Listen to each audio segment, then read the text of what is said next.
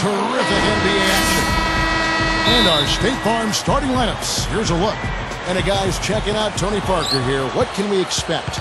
Well, with Parker, he's one of the best finishers in the league, and particularly at that point guard spot, you know, with his speed and his ability to penetrate, he's able to go into the teeth of the defense and either shoot that little floater or get all the way to the rim. Well, he doesn't have to get all the way to the rim. He's got such a variety of shots in the lane area that really make him hard to defend and make him a really clutch player late in games. He gets into the lane and he's got all of the shots that allow him to score in there. You know, one of the reasons the Warriors traded Monta Ellis last year was because they had Klay Thompson waiting in the wings. He got better size at the shooting guard than Ellis had a dead-eye shooter, and I think a guy who has an opportunity to become a big-time player in this league. And once the Ellis trade opened up an opportunity for Klay Thompson last season, he did not shy away from the opportunity. No, he seized it and embraced it. A lot of confidence for this young man, and you'd expect that coming from a basketball pedigree. His dad, Mychal Thompson, the first overall pick back in the 1978 draft. After the trade, Klay Thompson averaged almost 19 a game. And a great assist by Curry as that one goes in. Soft defense right there. Way too soft. And Parker, here we go. He dishes it to Green. Over Thompson. From 16 feet away, he cans it. There's 21 seconds left to play in the first quarter. Knocked away. Outside Curry.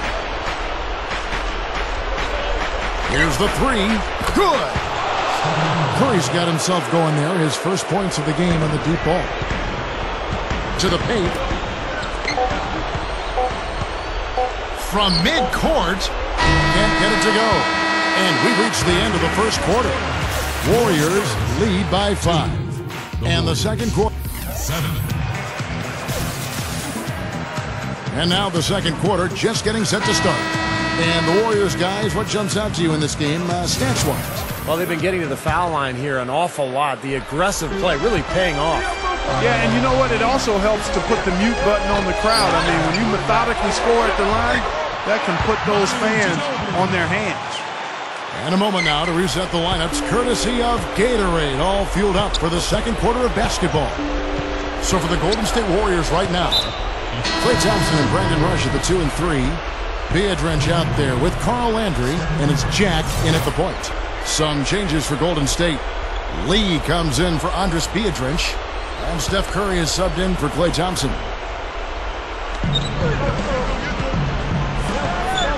Curry with it. That's good. Curry's got five points so far. Getting better and better. Got that field goal percentage up in the 60s now. now they've dialed it in here in the second quarter. They are on fire.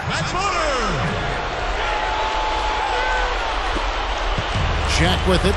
And a two-for-one opportunity. Yeah, they got to hurry. Step on the gas here.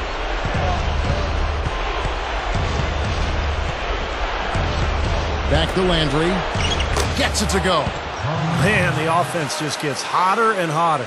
And they are really cooking now. You know what I like to say? You can microwave or you can cook with electricity or gas. when you're that hot, you're cooking with gas.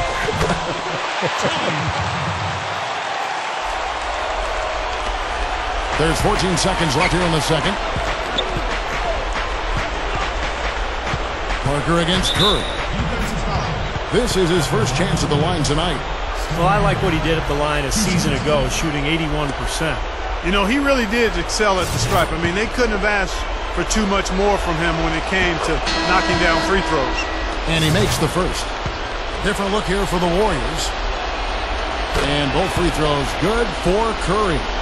Well, you just knew he wasn't going to miss there, not with so much riding on it. Duncan goes in. Shot is off. Look at the big man there. He knows how to go up and get that rebound. And a tight game here as we end. And now, brought to you by Sprint. And it's...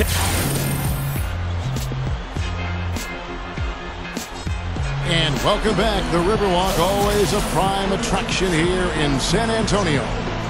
Some Great play by Steph Curry tonight. Seven points, and he's gotten a three-pointer to fall for him, too.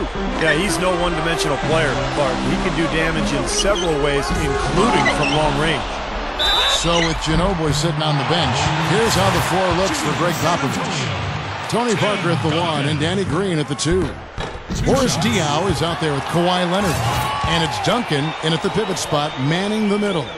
You know, it's amazing, guys. Tim Duncan still a factor at both ends of the floor. You know, he's not quite the scorer that he was in his youth, but his defensive presence and the leadership that he brings to his team is amazing. Yeah, he's a terrific passer, whether it's setting up teammates out of the post or hauling in rebounds and making smart outlet passes to get the transition game going. Love his calm demeanor and the ability to stay even-keeled out there. And he loves operating in that kind of space. Curry kicks to lead. Rebounded by the Spurs. Diaw dishes to Parker. With the lead pass. Diaw the pass to Leonard. Up with it. And Duncan gets it to go on the assist from Leonard. Big time bucket there, Clark. And Kevin, the crowd is loving it. Oh, they know exactly how big that shot was. Thompson against Green. Here's Thompson. He kicks it to Curry. Over Parker. Here's Lee. No good trying to beat the buzzer. And the game still closer.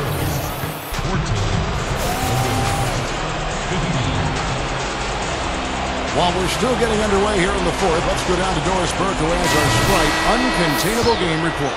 Doris? Hi, guys. Our Sprite Uncontainable game tonight, Stephen Curry. No issues for him finding ways to get points on the board, and that is what he does best for this team.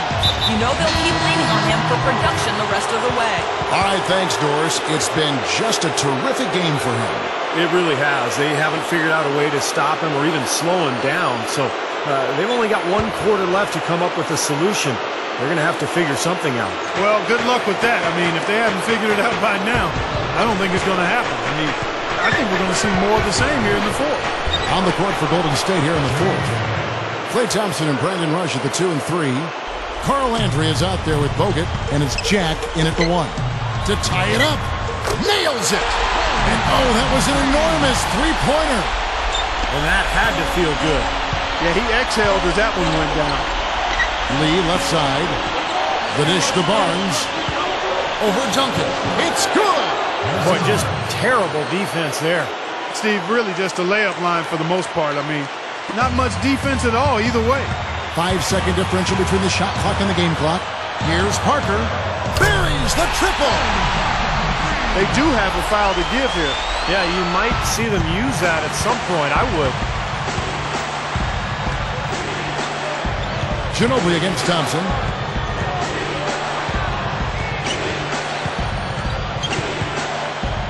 Feeds to Jack. Inside. And that basket's going to count, folks. Gets the goaltending call right there. Big call, Kevin. He just didn't get there quick enough, and that's a tough break. Yeah, fans not happy at all with that whistle. And the fans, as you would expect, not allowing their feelings to be kept on mute, they didn't care for that one.